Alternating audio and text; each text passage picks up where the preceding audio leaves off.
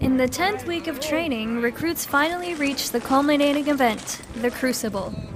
For 54 long hours, the recruits are constantly on the move, walking approximately 40 miles altogether. A deep and muddy canal. Recruits are encouraged to remember their core values and quickly learn that all of the 24 obstacles they encounter can only be completed with help from the rest of their team. No station can be completed alone, so teamwork is critical to success. Get on, that one doesn't get over there. All right, Sergeant. While fighting fatigue and hunger, the recruits are encouraged to never give up and to keep pushing forward. They are given three meals ready to eat to ration and only eight hours of sleep during this time. Everything the recruits have learned during training can be applied during the event. Many of the stations simulate combat environments, which allows recruits to experience the stress of time management and critical thinking. No one obstacle is the same, so each recruit can get a chance to assume the billet of squad leader. Appointing a different squad leader gives each recruit a chance to assume a leadership role.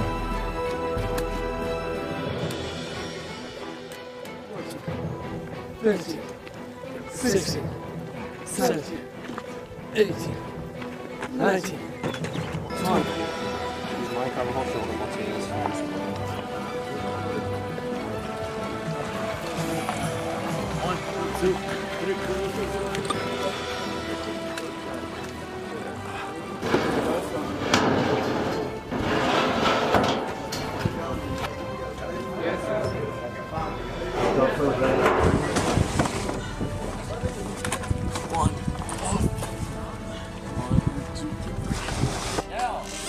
The final event of the Crucible is the Reaper Hike.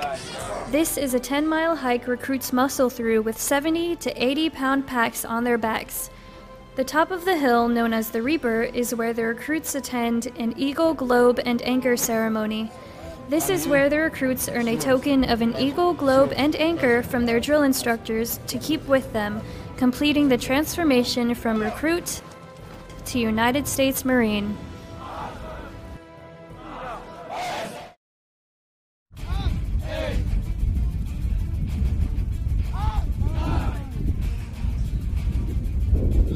The Crucible is a 54 hour event that includes food and sleep deprivation. It contains 45 miles of marching with day and night events. These events pit teams of recruits against a barrage of obstacles where every recruit has to work together. The Crucible was challenging. Needless to say, the hills were very steep. Working alongside other recruits becoming Marines, while it was challenging, I derived strength from them because seeing their struggle made me feel part of the team because it wasn't just my struggle, it was the platoon struggle. I think that the Crucible helps build up these recruits. One, to teach them the full concept of honor, courage, and commitment, the core values. One, because of the citations that we read, they all embody the core values of honor, courage, commitment. Just an example of what I mean by the citations of the Marines before myself and them, who've given their life to save another Marine's life. Uh, having the courage to do so, obviously, in a, in a frantic combat environment, as well as uh, this commitment to the mission to ensuring their safety as well as the Marines to the left and right. If I could tell one one thing to a recruit after crucible, it would be to, to never forget the struggle, the pain that they went through, the transformation, where they were and where they are now, and uh, what's important to them. Obviously, the core values, but keeping that Eagle Globe and Anchor in their left breast pocket at all times. The honor, courage, commitment card in their wallet at all times.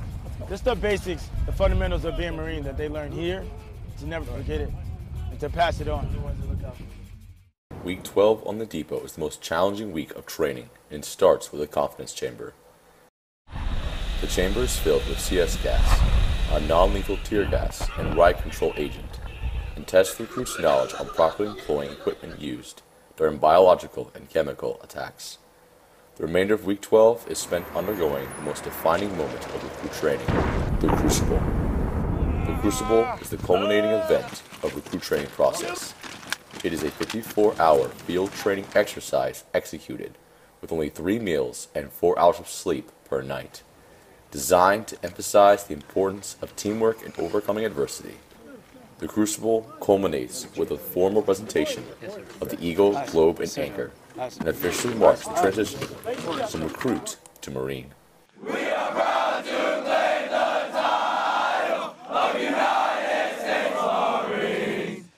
Alpha Company's 11th training week, they take their first couple steps as Marines while learning about Marine Corps history at the Depot Museum. The museum has many exhibits that represent the different periods of Marine Corps history. The docents at the museum give the Marines a tour and answer any questions they may have about any of the exhibits.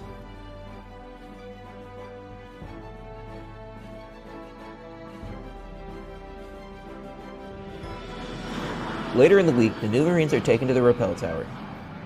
The rappel tower instills confidence into Marines by allowing them to descend a 60 foot tower.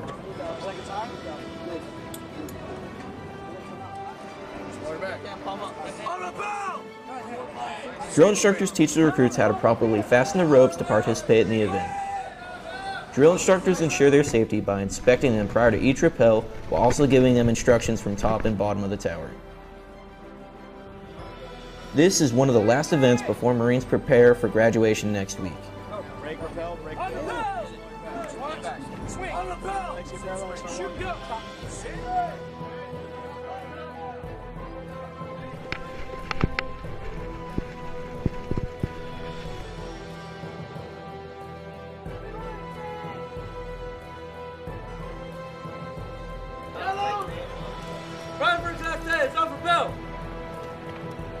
Thanks for watching this video. I hope this gives a little bit of insight of what it takes to become a United States Marine. If you liked the video, please check out some more over here.